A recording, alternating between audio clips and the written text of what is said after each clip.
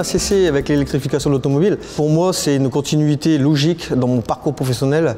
Maintenant, on arrive à un nouveau stade où le thermique est sur le déclin. On passe sur l'électrique, sur, sur une nouvelle évolution de l'automobile. La formation nous apprend à connaître ce que c'est une batterie.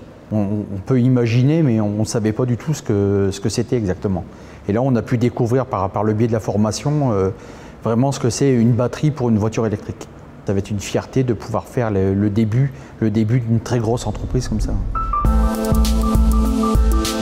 J'aurais dit pionnier et aventurier aussi.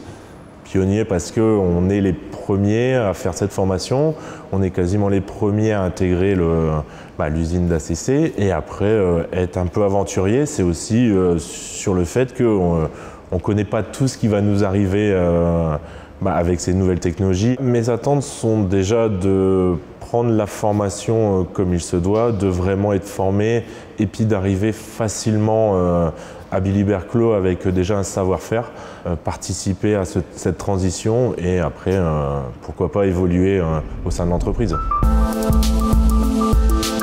J'aime bien le domaine automobile, donc ça restait aussi le domaine automobile. Et ensuite, c'est l'avenir, la batterie, l'écologie. Je suis fort écolo, même chez moi, donc je fais quand même attention à tout ça. J'aimerais bien quand même nos enfants, nos futurs enfants, laisser un monde propre du mieux qu'on peut. Je dirais fierté, parce que j'ai une fierté d'avoir travaillé pour ce groupe, qui fait encore partie d'ACC malgré tout. Après, le deuxième mot, je dirais reconnaissance. La reconnaissance de m'avoir appris une méthode de travail.